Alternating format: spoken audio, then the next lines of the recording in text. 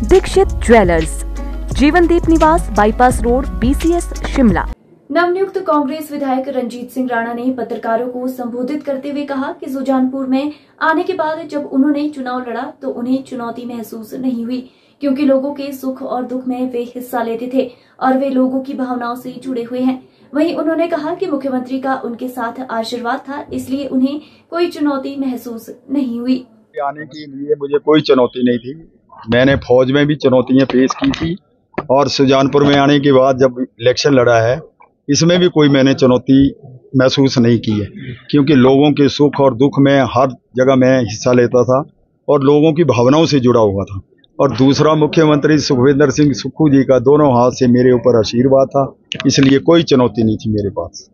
Sir अब आपके सुल्तानपुर की अगर बात करें किन प्राथमिकताओं को लेकर पीछे पंद्रह साल से विकास के कार्य रुके पड़े थे जो सिर्फ़ बातों में ही काम होते थे ग्राउंड पे कोई काम नहीं होते थे उनको करवाने की पूरी कोशिश करूँगा और पहले और अब क्या हो रहा है उसमें फ़र्क ज़रूर बताऊँगा।